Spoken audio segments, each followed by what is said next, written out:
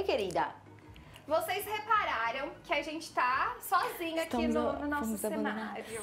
Estamos sem a nossa convidada de hoje. Mas é que é o seguinte, antes de vocês conhecerem a nossa convidada, eu quero que vocês conheçam o Ismael. Foi em 98, participei de um concurso que teve numa boate, na época aqui em São José do Rio Preto, de novos talentos. E eu me inscrevi, acabei disputando com umas 10 pessoas e eu fiquei entre o finalista até que eu consegui vencer o concurso. E aí despertou essa curiosidade do mundo de drag e comecei a pesquisar, a estudar e para surgindo esse personagem que é o personagem que eu trabalho hoje. Ah, Além da roupa, da maquiagem, dessa transformação de dia ser um menino e à noite poder ser, ser uma mulher exagerada como a, como a Margot é, ah, você vem também o, o ato de você levar alegria para as pessoas, né? Você poder fazer coisas que no seu dia a dia, você de menino, você não faz, mas quando está transformado, você acaba fazendo, acaba colocando para fora toda aquela, aquela coisa que fica guardada dentro de você. É, eu, eu participei desse concurso, eu acabei não trabalhando nessa casa, né? Que, que eu tinha que, que trabalhar com essa casa, acabei não assinando contrato com eles,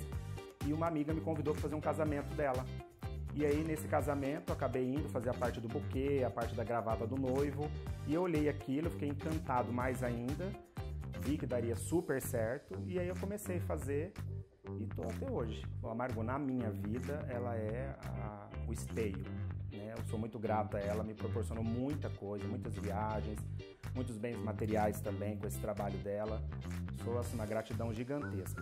E uma drag hoje, pra mim, na minha opinião, é ser livre poder fazer coisas que você não faz no seu dia a dia, mas de drag você pode fazer com respeito, lógico, né? Mas você poder ter essa liberdade de, de fazer o que você mais gosta em qualquer momento, em qualquer lugar. Ela é um personagem. O que eu faço de Margot eu não consigo fazer de Ismael. Às vezes quando as pessoas me reconhecem, pede pra fazer alguma coisa, eu não consigo. Ela realmente é um personagem que ela vem depois que eu coloco a peruca. Eu coloquei a peruca ela incorpora e ela vem. Eu, quando eu tô de Ismael, não consigo fazer. Sou também sorvetido, brincalhão, mas eu não consigo. A em média, mais ou menos assim, se é uma coisa muito rápida, em meia hora a Margot fica pronta do pé à cabeça. Salto alto, colã, vestido, peruca, maquiagem. E é aquela coisa bem exagerada, muito brilho, muita purpurina, muito glitter. A Margot é um exagero que, que é fora do, do normal. Não é uma drag é, feminina, ela é uma drag exagerada, sabe? A Margot, eu, fa- eu brinco que a Margot é uma mulher, é várias mulheres em uma mulher. Uma mulher genérica, que a Margot, eu brinco que ela é uma mulher genérica. Então são várias mulheres e uma mulher genérica. Olha, as roupas da Margot eu vejo muito na internet, pesquiso alguma coisa na internet. As perucas da Margot tem uma amiga aqui em Rio Preto que ele também ele faz pra mim. Vou olhando, vejo um modelo, eu, às vezes já vi em festas que eu faço, um vestido numa mulher que eu achei super bonito e acabo recriando ele pra Margot, tem uma costureira que faz também com muito amor, com muito carinho, e acabo recriando no, no meu personagem. Quando, pra, pra batizar a Margot, pra ter esse nome, é, eu me inspirei numa, numa atriz, ela na época fazia uma novela e ela tinha o nome de Margot. E aí um amigo meu falou assim, ah, então tem que colocar o sobrenome, então coloca Killer, então vai ser Margot Killer, né, matadora. Então eu achei muito bacana, então aí foi essa junção dessa personagem da Rose Campos e junto com esse meu amigo que fez o, so- o sobrenome. Aí ficou Margot Killer e esse nome até hoje. Bom, sobre o, o salto, foi uns treinos que você vai fazendo. Até hoje você acaba, dependendo, dependendo do piso, você acaba dando uma escorregada, né? Mas o salto não, tive problema. Não tive. Eu falo, quem nasceu pra ser drag é drag, não adianta. Foi uma, uma, uma afinidade tão grande que na- no primeiro dia que eu coloquei, que eu usei, foi uma coisa que eu achei fantástica. Me senti assim, outra pessoa. Então não tive problema nenhum. A maquiagem, eu brinco que até hoje eu ainda me surpreendo, né? Tem dia que você acerta, tem dia que você erra, quem não, né? Acerta e erra numa maquiagem. Mas como ela já tem aquela maquiagem padrão, então não é tão complicado e também não é tão uma coisa tão assim fora do normal a fazer. Mas foi muita adaptação também. A cair até ter queda em chão, não, mas escorregar, sim, isso já, já teve. Ah, já teve uma vez que acabou a energia de um casamento. Foi muito engraçado que as decorações da- do casamento tinha velas na mesa. E na época eu tava passando uma novela também, Padroeira, se não me engano. E aí a gente pegou aquelas velas, saiu andando no meio do salão, cantando a abertura da novela. Isso aí também marcou bastante. Foi muito engraçado. São coisas que acontecem que ali na hora você tem que improvisar e tentar tirar o melhor e não deixar a festa perder o pique. O evento que você tá ali, é, que você foi contratado, tem que estar pra cima, você não pode deixar a peteca cair. Sim, é hora de vocês conhecerem a Margot. Ai, é um babado, gente. Olha o babado dessa bota. Eu não me aguento. Não, a roupa inteira, né? Inteira, né? Olha. Muito E aí, E tudo aí? bem? Seja muito bem-vinda, Margot, ao nosso Obrigada, programa. obrigada, obrigada pelo convite. Muito obrigada, viu? A gente que agradece. Muito obrigada. Estamos aí. Primeira coisa que eu quero saber, Margot, Ah. é, a gente falou lá na, na sua casa com o Ismael que, sobre como que tudo isso começou, como você se interessou pelo mundo, né, das drags. Agora, eu quero saber o que, que você sente quando você tá assim, Margot. O Ismael já não tá nem aqui mais. O Ismael ficou lá na casa dele. Gente, eu me sinto a mulher mais linda desse mundo. me sinto uma mistura de Gisele. Porque eu tenho algo da Gisele Bündchen. Tem. Tem. Inveja da Gisele Bündchen. Morro de inveja. Então me olho, sinto que eu sou a Gisele Bündchen. Lógico, me sinto a mulher mais gata, mais linda, maravilhosa do mundo. Qual mulher não se sente quando tá num salto maravilhoso, Num vestido vestido. básico, só que Básico. muito básico, com cabelo de alguns 6 mil reais? Qualquer mulher se sente. Eu já parei de assustar, você viu? Vocês já acostumaram, né, gente? Isso aqui é a corda de fundo, ó. Olha isso, meu pai amado. Margot, É. pra ser drag, é, o mundo drag define por gênero, por sexualidade ou não? Isso é um negócio de dentro de você, não... Olha, antigamente sim, né? Se definia. Hoje não. Hoje tem, tem uma amiga minha que ela, que ela mora ah, em Valinhos e ela é, é mulher, hétera, e ela se monta de drag. Então é bacana isso. Tem homens héteros que também trabalham como drag. Então hoje, assim, o leque se abriu bastante. Nessa onda agora de todo mundo poder respeitar e fazer o que quer, o que gosta, o que mais ama. Então agora abriu esse leque. Então tá bem bacana, tá bem versátil. Então não existe mais, né? Porque antes tinha muito esse tabu do que, de que o mundo drag era o mundo LGBT, já não é mais. Exatamente, não. Antes a gente ficava muito escondida, era só para público gay, você só se apresentava para o público GLBT, é, só esses pessoal que fazia eventos é, relacionados a isso. Então hoje não, hoje, hoje tá bem amplo, hoje tá realmente, tá uma coisa, tem que melhorar muito ainda, lógico, mas tá bem, bem versátil mesmo. E você faz shows, você vive com isso, como a gente viu o Ismael Exatamente. contando. Como que são os seus shows? Quem te contrata? Então, eu trabalho com assim, com casamento, aniversário, despedida de solteiro, despedida de eh, chá de lingerie, né? Ah, festa de empresa, pocket show. E é um tipo de stand-up, né? Então eu vou lá interagir com os convidados, com o noivo, com a noiva. E assim, é uma coisa que, lá, que não tem como eu explicar, porque é muito na hora. Né? Na hora eu vejo, na hora acontece. É tudo no improviso, é tudo no improviso. Que eu acho que é o que, que faz diferencial da Margot Killer. É esse improviso, esse time que eu tenho rápido de poder olhar pra pessoa e brincar, interagir com ela, levar essa alegria. E fica assim, uma coisa muito descontraída. Então, o improviso te dá essa chance para você mostrar o seu trabalho de uma forma bem alegre, bem divertida. Falando nisso, gente, quem quiser contratar a Margot, a gente vai deixar o contato dela Por favor. e as redes sociais. É, não estou pedindo, gente, estou implorando. Tem Tá aluguel pra pagar, tem uma instituição de caridade dos meninos de 18 anos que depilam o corpo. Gente, tem umas dívidas aí pendentes. Até porque a gente sabe que a pandemia veio e meio que atrapalhou muitas coisas, né? Exatamente. Não, não, estamos tendo eventos, né, devido a, a, a essa pandemia, mas daqui a pouquinho vai dar tudo certo, a vacina tá aí, já tá chegando, e aí nós vamos poder voltar a bombar novamente. Isso aí. Margot, o que que as pessoas costumam te perguntar, assim? Porque muita gente tem curiosidade Hum. pra co- conversar com uma drag. É, o que que as pessoas mais te perguntam? Mas não, o pessoal me pergunta muito é, sobre a questão de roupas, que eles, elas acham muito, muito bacana, e do salto, do todos os sapatos, o pessoal vendo, tem uma festa, um evento, que eles vão perguntar do sapato, da roupa, o figurino em geral. Eu já apaixonei Que é na não bota onde mesmo. desperta a curiosidade mesmo. né? Mas é no que, muito que você bacana. apaixonou? A bota, gente. Olha que sapato Ah, qualquer maravilhoso. 600 euros você tá levando, viu, amor? Só Deixa ali, é bonita ali. tá. Tá bonita ali. Uai, é que a Manu, ela é toda extravagantezinha, né? Não, hoje eu tô comportada. Hoje, ela falou É. muito certo. Hoje, ela Hoje. está comportada. É. Mas ela é do, do sapato da, da Do bota. sapato, é. Ela tem. Gosto de uma plataforma também. Adoro. Você, E tem- no- você e acabou no- de gravar com uma. É. É, e não se sente assim, um poder, Muito. não é? Já, eu já vejo todo mundo daqui de baixo. Falo, "Ah, sou. Exatamente. né? Acima da gente no salto é só Deus. Só Deus, Você imagina, é verdade. Não é? Margot, você já passou por alguma situação engraçada em, em shows, em eventos? Olha, já. ah, uma vez eu fui fazer um, um casamento e o pai do noivo, o pai do noivo, queria, porque queria, que eu fizesse uma brincadeira com tipo, um, amigo dele lá que né? Não era muito lá de brincar. E aí, de repente, nesse, nesse próprio, nessa própria brincadeira, tanto eu insisti pro cara brincar comigo, pro convidado brincar, ele acabou se revelando que ele já foi drag uma vez. Foi muito legal.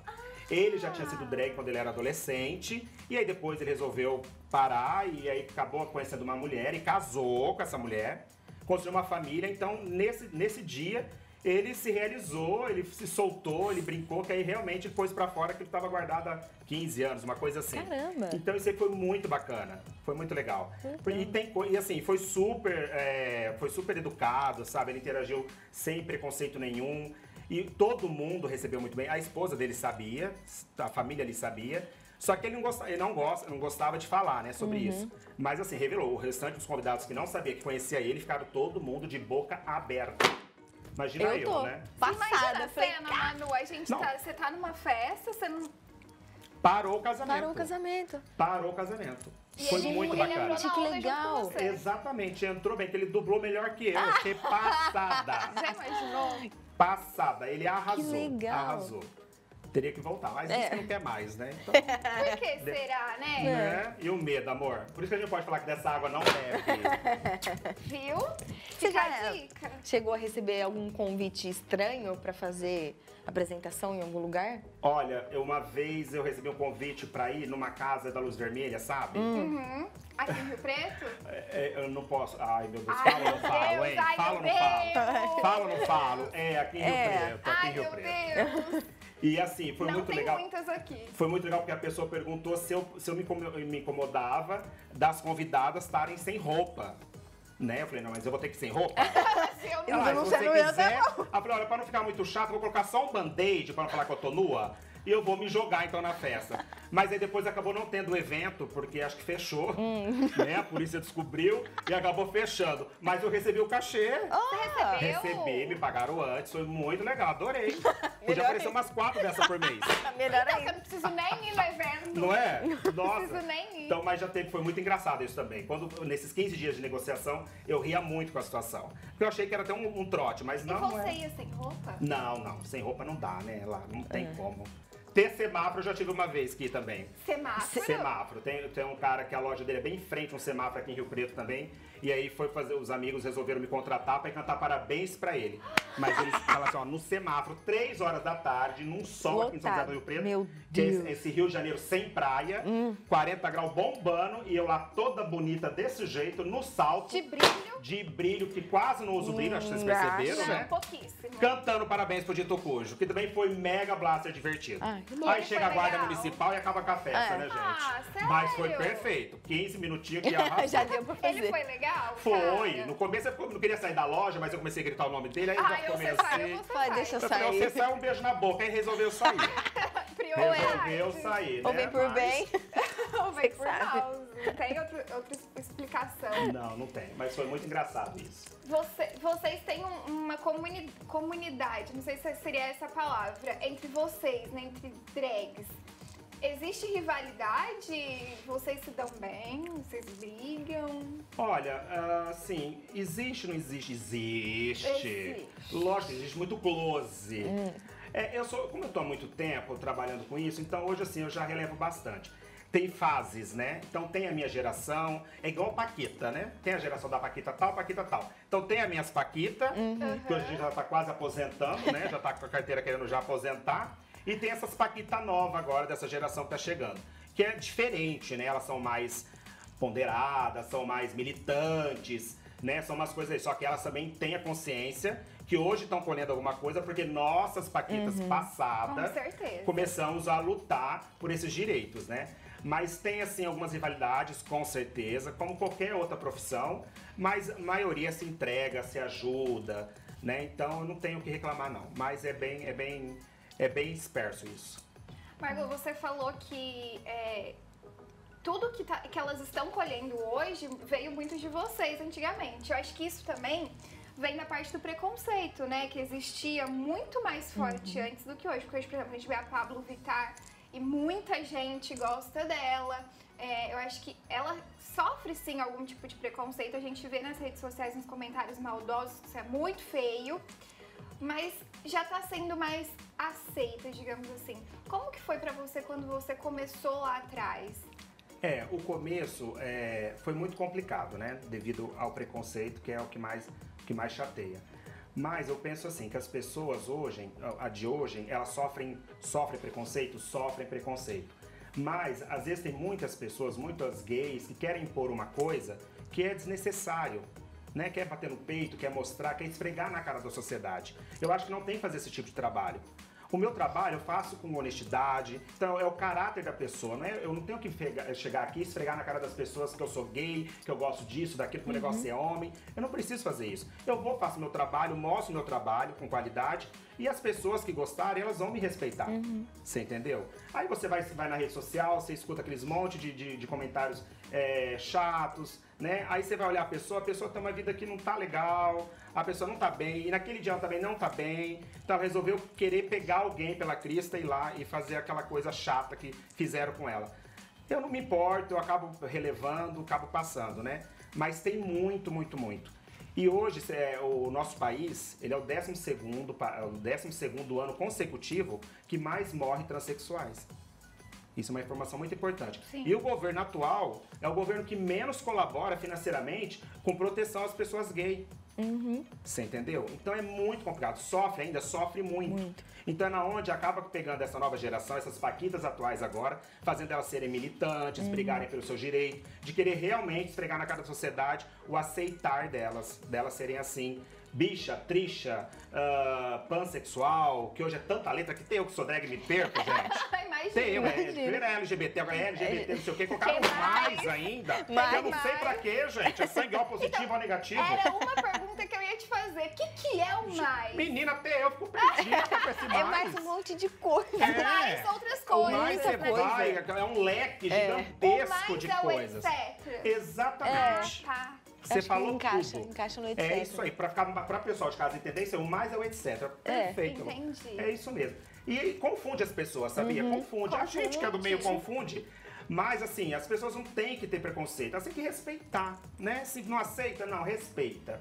Respeita. E toda família tem uma ovelha negra. Tem. Memoriza. Toda família. Olha pro lado direito, pro esquerdo. Tem algum primo. Se não tiver, meu Se não tiver você, olha pra meu você. Se não tiver, dá uma garrafinha de vodka que aparece. Escuta que eu tô falando. É verdade, gente. Boi preto conhece boi preto. é, é, é, isso. É, e você tava falando que essa questão dos LGBTs, né? É, o, o, público é esse, o público LGBT, ele tá aí também para consumir as coisas que ele gosta. E é um trabalho. E, e consomem, gente. Uhum. Empresários inteligentes, invista na gente, viu? Uhum. Bicha gasta dinheiro, Sim. hein?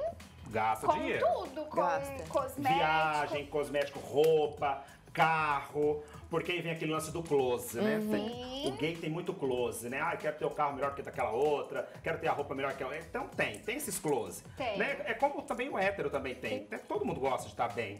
Então consome bastante. Viagem, então, nem hum. se fala. Que ela tá podendo viajar. É mas nem se fala. É isso. Né, Manu? Nani. Você quer dar close? eu não tenho dinheiro pra dar close. Olha lá, ó. Olha lá. Isso eu não tenho, não tenho dinheiro. É, é isso aí. É triste. Além disso, você já sofreu algum preconceito? Algum preconceito deve ter existido, mas algum tipo de assédio? É, alguém que chegou mais grosseiramente em você em algum evento, show? Olha, uma vez uh, eu trabalhei dois anos com o Cruzeiro Marítimo e teve um, um, casal que veio fazer uma proposta indecente. Hum. Pagava em um dólar. Casal? É, um casal. Associa muito a. Sim. E, Vocês entenderam. Né? E assim, ele veio primeiro, veio, fez amizade, começou a brincar, etc. E, e aí ele acabou fazendo uma oferta, né? Que ele olhou para mim, ele achou que. Aí eu falei pra ele que não, que meu personagem não, faz, não fazia isso, nada contra quem faz, né? Uhum. Claro. Né? Nada contra, uma amiga, uma amiga minha famosa, Bruna Surfistinha, nada contra. Nada contra. Mas não era do meu perfil, eu não, não teria vontade de fazer isso. E ele ficou super bravo, sabe? Porque por a pessoa ter dinheiro, ela acha que ela pode mandar e comprar o que ela quer. Uhum. Aí eu falei pra ele, falei, amor, eu não comercializo sexo, não estou aqui para isso. Então, assim, ele ficou bem, bem agressivo verbalmente, mas aí como a gente é um artista, trabalha, a empresa marítima que eu trabalhava dar o respaldo pra gente. Aí acionei o segurança e veio e acabou abordando ele. Mas senão eu acho que ia, ia chegar a ficar um pouquinho mais sério o negócio. Aí você pensa, eu desse tamanho, Né? com esse salto, tendo que pôr minha força em jogo, lutar jiu-jitsu com um homem daquele jeito. Você Ai. acha? A gente foi gravar com, com ela lá no apartamento. E ela me contou que ela é amiga de Nani People. Ai, Nani, um beijo, sou amiga da Nani Ai, People, minha Nani, amiga você podia lindíssima. perguntar assim, você manda pra ela? Mando, vou mandar, com Nani, certeza. você é maravilhosa. Ela é maravilhosa. Eu sou sua fã há muito tempo. Ai, manda pra ela. Mano, vou mandar pra Nani, minha amiga lindíssima. Nani, me nota. Aí eu perguntei, né? é, não acabe com a minha. Não acabe com o meu amor por Nani. Ela é legal? Lógico. Ela é maravilhosa, gente. Ai, gente. É um ser humano fantástico, inteligentíssimo, educada, humilde, Sim. alegre. Não tem como você não rir do lado de Nani People. Tanto ela em cena quanto ela nos bastidores. Não tem como. E falo isso porque eu tive esse prazer de conviver nas duas, nas duas etapas, tanto no palco como nos bastidores. Não tem como. Ela é uma pessoa sensacional. E por que eu digo que gosto de Nani? Você também gosta, que sei. Porque eu acho que o mundo da drag, ele é muito, além do tabu, ele é muito estereotipado. É, como, como se não fosse uma cultura, como se não fosse, como se vocês não fossem inteligentes, Exatamente. como se essa cara, cara. Caracter- Caractu... Não. Ah, enfim. vocês entenderam. Como se isso fosse o que vocês são, né? É, Extravagante e é. e tudo Sim. mais. E por trás de tudo isso, existem pessoas inteligentíssimas, como Nani People que amo. E como Margot. Exatamente. Nani People, ela trabalhou com Hebe Camargo, trabalhou com Xuxa Meneghel, fez Sim. novela. Gente, não é. É assim, é um QI elevadíssimo. E é também uma das grandes responsáveis por esses direitos que nós temos hoje. Sim. Você entendeu? É uma pessoa que brigou muito pelos nossos direitos. E isso dá orgulho pra gente. E inspira você lutar e continuar. Temos muito que conquistar ainda. Você entendeu? Mas ela é uma assim, é uma pessoa que você tem que ter como exemplo mesmo. E eu tenho ela como exemplo e tenho mesmo. E doa quem doer, meu amor. O leque tá aqui. Eu assustei aí. Eu- Como foi pra você no começo dessa transição pra você falar assim, vou querer ser drag? Como que você se aceitou? Olha, assim, o começo, eu participei de um programa, de uma, como eu falei na entrevista, participei de um, de um concurso, uma boate.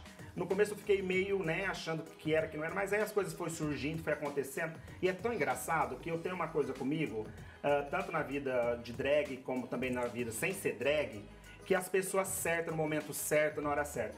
É tão, eu falo, a minha mãe fala, planta que você colhe, e realmente é isso. Então, todos os meus lugares tinha alguém que ia fazer isso, alguém fazia aquilo, alguém ajudava aqui, alguém te indicava aquilo. Isso é muito bacana. Então, isso aí eu ia aproveitando essas oportunidades, né? Eu brinco que eu, que eu não quero ser rica, quero continuar amiga de gente rica, que é mais barato pra mim e mais fácil.